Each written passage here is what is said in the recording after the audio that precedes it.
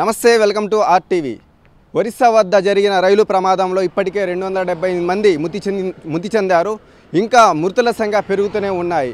ఈ ప్రమాదంలో నెల్లూరుకు చెందిన ఇద్దరు వ్యక్తులు యశ్వంత్పూర్ రైలులో ప్రయాణిస్తున్నట్టు సమాచారం.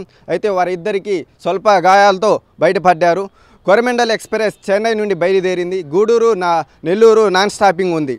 అది అలాగే యశ్వంత్పూర్ రైలు బెంగళూరు నుంచి బయలుదేరి తిరుపతి నుంచి నెల్లూరు మీదుగా వెళ్తూ ఉంది. రాత్రి ఎనిమిది గంటలు సమయంలో నెల్లూరు నుంచి ఇద్దరు ప్రయాణికులు ఆ యశ్వంత్పూర్ రైల్లో ప్రయాణిస్తూ ఉన్నారు. అయితే వాళ్ళిద్దరికి స్వల్ప గాయాలతో బయటపడినట్టు మనకు ప్రస్తుత సమాచారం.